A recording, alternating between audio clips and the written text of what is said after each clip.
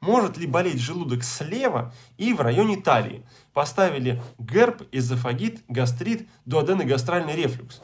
Ну, слушайте, наверное, если уже эти диагнозы поставили, а, а часть этих диагнозов захватывает не только пищевод, как герб и эзофагит, но и желудок, то тогда, конечно, желудок может болеть слева, действительно. Но при этом может болеть уже из-за этих накопленных проблем и кишечник.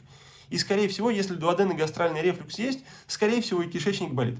И вот здесь придется различать, это а, болит желудок или болит кишечник. Причем, может быть, немножко запутанная история, и многих людей это ставит просто в тупик. Потому что, например, утром болит желудок, а вечером, например, болит кишечник.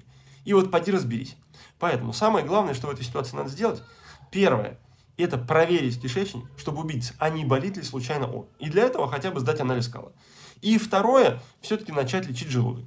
Если вы хотите решить свою проблему с ЖКТ, присоединяйтесь к гастрогруппе. Мы разберем симптомы, результаты обследований и выберем пути решения. Переходите по ссылке в профиле.